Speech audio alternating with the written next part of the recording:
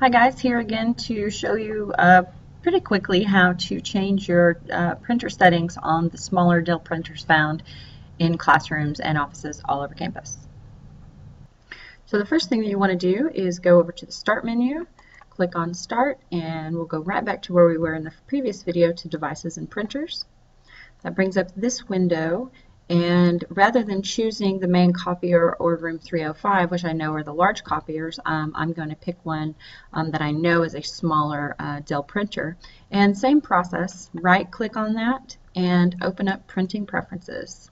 And it brings up a menu that looks like this. Um, here, menu looks a little bit different, but it's basically the same functionality.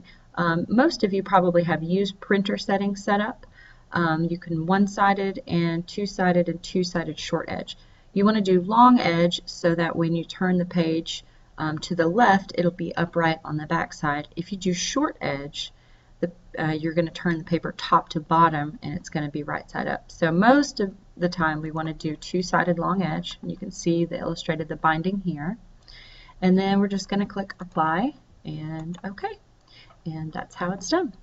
If uh, you want to add a printer, you are just going to go up here to this option, still in the same panel for um, devices and printers, and click Add a Printer. And then you're going to select a network printer, and it's going to bring up every printer that is on our network. Uh, these are the Lucas upper school, you've got um, MS for middle school, the printer name is listed, but a lot of the times they have um, the, uh, the, the, location of them as well. Uh, I'm just going to Scroll down to room 309, so it's in the science wing. Uh, click Next, and um, that one was pretty easy. The driver's already there, so you successfully added room 309 on loop.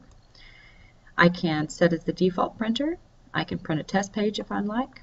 I'm just going to click Finish here, and then going through the same process as we did for the study hall printer.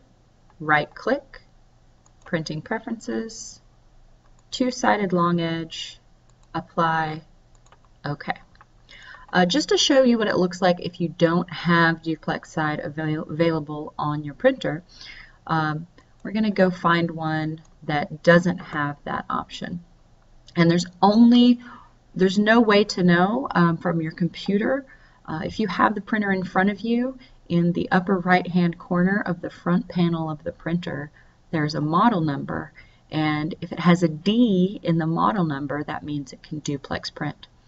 Um, I know that they were having some trouble in Fine Arts the other day for double-sided printing.